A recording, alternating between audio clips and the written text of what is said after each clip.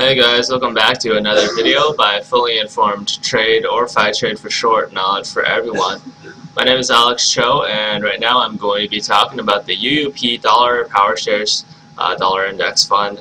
And uh, basically the dollar has had a phenomenal day on the session. It did gain back whatever losses it had on the previous session, and it's having a negative effect on both the stock market and commodities alike.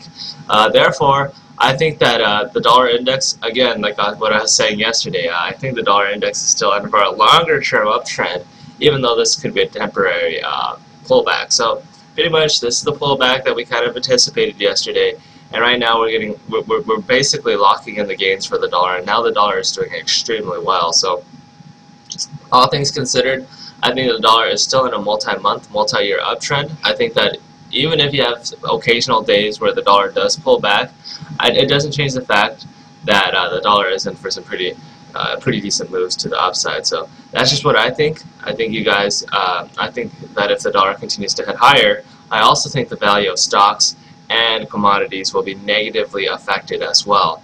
So all things considered, um, stronger dollar market means that I'm pretty bearish or pessimistic on pretty much every other market. So aside from the bond market. So take care, folks. You guys have a wonderful trading session. I hope you guys make money every single day of the year. So I'll see you guys around. Or I'll see you guys on uh, Wednesday. Yeah, Wednesday. So see you guys later.